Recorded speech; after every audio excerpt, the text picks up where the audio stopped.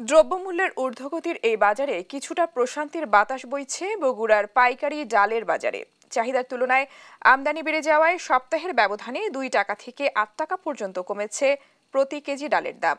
LC জটিলতা না থাকায় পাশের দেশ ভারত থেকে সরাসরি ডাল আমদানি করায় বাজারে রয়েছে যথেষ্ট মজুদ। তাই আসন্ন রমজানে ভোক্তা পর্যায়ে ডালের দামে কোনো প্রভাব পড়বে না বলছে পাইকারি ব্যবসায়ীরা।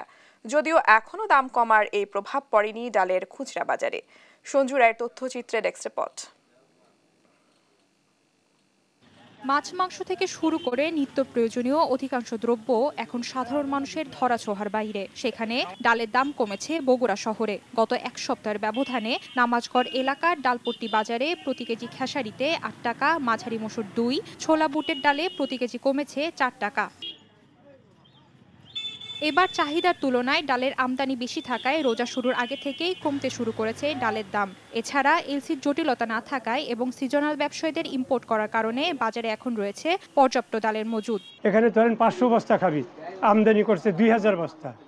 এই কারণে দাম কম। সবাই আমদানি করতে পারতেছে। যারা মশলা ব্যবসায়ী যারা এলসি আছে তারা আমদানি করছে। আমদানি করার ফলে মাল পর্যাপ্ত চলে আসছে মালের দাম কম। এদিকে পাইকারি পর্যায়ে ডালের দাম কমলেও খুচরা পর্যায়ে এখনও তেমন প্রভাব পড়েনি।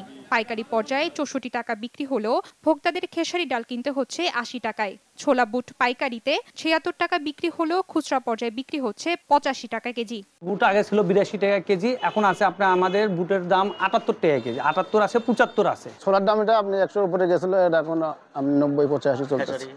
খেসারি আশি টাকা আশি টাকা আছে।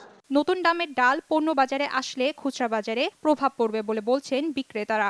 এখন বর্তমানে নামছে নতুন সিজনের যে পণ্যগুলো সেখানে আমাদের বাজারে এখনও পৌঁছেনি আমরা এখনও পাইনি। খুচরা দোকানগুলোতে এই মালটা দ্রুত ঢুকবে।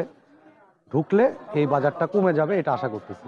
এবছর বাজারে কোনো সিন্ডিকেট না থাকায় দ্রুত ভোক্তা পর্যায়ে সুফল মিলবে বলছেন সংশ্লিষ্টরা। মার্কেটে কোথাও কোনো মাল সিন্ডিকেট মজুদ নাই। তিন সাইড দিয়ে মালটা ঢুকে যাচ্ছে অলরেডি আমাদের দেশে। তো সর্বস্তরে সব ডিস্ট্রিক্টে মালটা মুহূর্তের মধ্যে পৌঁছে যাচ্ছে। চব্বিশ ঘণ্টার মধ্যে মালটা পৌঁছে পৌঁছে যাওয়ার কারণে কোথাও কোনো মানের ঘাটতি দেখা যাচ্ছে না। এই দাম খুচরা পর্যায়ে বাস্তবায়ন করলে ভোক্তা পর্যায়ে মিলবে সুফল, এমনটাই প্রত্যাশা সাধারণ জনগণের। News desk, Desh TV.